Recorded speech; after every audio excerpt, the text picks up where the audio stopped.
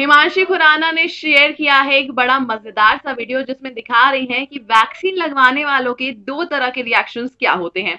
क्या है ये पूरी खबर चले जानते हैं। इस वीडियो के अंदर hello this is Lisa Gangwani भाई इंजेक्शन होती तो बड़ी छोटी सी चीज़ है, लेकिन अच्छे अच्छों को डरा देती है, और ऐसे में वैक्सीन लगवाने वालों के दो तरह के रिएक्शन है। एक तरफ़ तो जो वैक्सीन लगवा रहे हैं, वो बड़े आराम से जाकर बैठ जा रहे हैं, वैक्सीन लगवा ले रहे हैं, उन्हें पता भी नहीं चल रहा है क्या हो रहा है, और दूसरे होते हैं वो वैक्सीन फोबिक या फिर इंजेक्शन फोबिक जो कि वैक्सीन लगवाने में सारे घर को एक कर दे रहे हैं। हम लोग देख सकते हैं किस तरीके से हिमांशु खुराना ने बहुत बेहतरीन ढंग से इमिटेट किया है उन लोगों को जो इंजेक्शन से डरते हैं।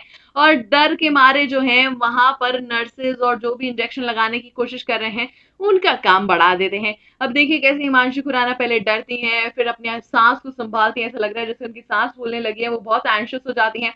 और फिर फाइनली डरते डरते इंजेक्शन लगवा लेती हैं और पता चलता है कि उन्हें तो कुछ भी नहीं हुआ।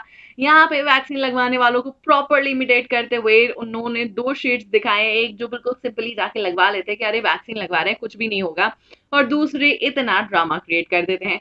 तो भाई हिमांशी खुराना के इस फनी से वीडियो को देखकर, इस फनी से इमिटेशन को देखकर अबाउट द वैक्सीन रिएक्शंस आप सभी लोग क्या कहना चाहेंगे? ज़रूर लिखकर बताइएगा कमेंट सेक्शन में। इसके अलावा हिमांशी ने कई सारी ब्यूटीफुल पिक्चर्स भी शेयर की हैं ऑफ़र आउटिंग ऐसा लग रहा है जैसे वो बेकरी शॉप में बैठकर जो है पेस्ट्रीज का लुफ्त उठा रही है तो उसके बारे में भी आप लोग अपनी राय लिख सकते हैं और हमारे साथ जुड़े भी रहिए, क्योंकि और भी खबरें हैं, इसी तरीके से लगातार आप तक पहुंचाते रहेंगे।